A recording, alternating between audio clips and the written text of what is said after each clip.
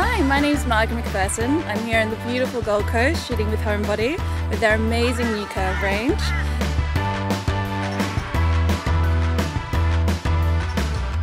This is one of their beautiful pieces that I'm wearing now. Absolutely fabulous. It is so beautiful to finally have a company that embraces women and embraces actual diversity between women.